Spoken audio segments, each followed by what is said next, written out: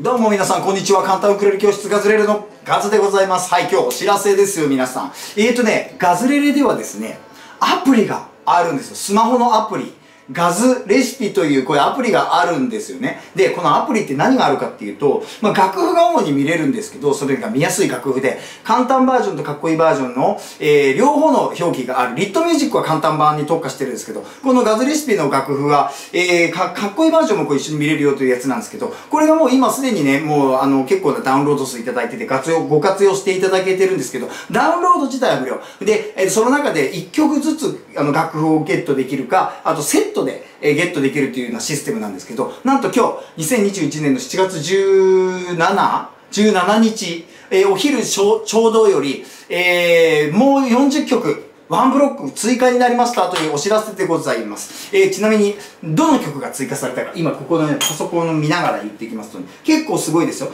えー、ボヘミアン、あいみょんの体のシーンからまだ燃えてるんだ。恋の風がルーザー、 LOSER っていうのは米津玄師さんですね。あと、悲しみは雪のようにとか、 Runner とか、走る、走るとか、こんな感じ、キッスは目にして100万回の I love you、えー、夢伝説、えー、 Good night baby、空はまるで Raspberry Dream、丸の内サディスティック、えー、東京 VICTORY、リライト、ガッチャマン、もういっぱいやります。40曲のセット。えー、これ1曲ずつでもゲットできるし、あの、セットで買っていただけるとちょっとね、割安になったりなんかしてるんで、えー、今日のお昼、えー、ぜひともそのガズレシピの、えー、サイトなり、そのアプリ見ておいてください。ちょ、ちなみにこのね、えー、ガズレシピのアプリのこと、ここにリンク貼っとくんで見ていただきたいです。でね、それに付随して、この本が今出てます。これはですね、そのアプリで、えー、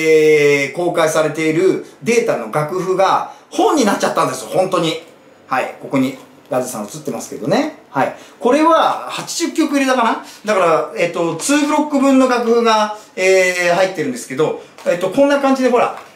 かっこいい版は下の段、簡単版は上の段みたいな感じでこう分かれてるんで、あのー、こっちもね、ぜひぜひ、本の方が見やすいよって方いらっしゃったら、こっち、これも80曲あるんで、も相当な曲数入ってるんですけどね。これ今ね、最近 Amazon でもゲットできるようになったんで、ガズレシピと検索していただくと Amazon でもゲットできるようになっております。ということで、えー、もうね、最近ガズレレの最新情報がもうめちゃくちゃ多くてですね、まあまあこんな感じで、えー、ちょいちょいちょいちょいこうニュース、最新ニュースをまた、えー、皆さんとシェアさせていただきたいと思っておりますので、えー、またよろしくお願いします。もう一回最後の確認。えー、2021年の7月17日の正午より、ガズレシピのアプリの方で40曲の、あの、一つのこう、セットが追加になりましたということでございました。えっ、ー、とね、そういう今年の夏1個ね、すごく、えー、ビッグイベント今企んでるんですよ。で、これはね、ちょっと明日か、今週中にちょっとご案内しようかなというふうに思います。それはまた特別に、えー、1個動画を立ち上げようと思ってます、ね今日はひとまず、そのガズレシピのご案内をさせていただきました。それでは、ね、もう今、梅雨明けた地域が結構あるみたいですからね。もう本格的な夏投入、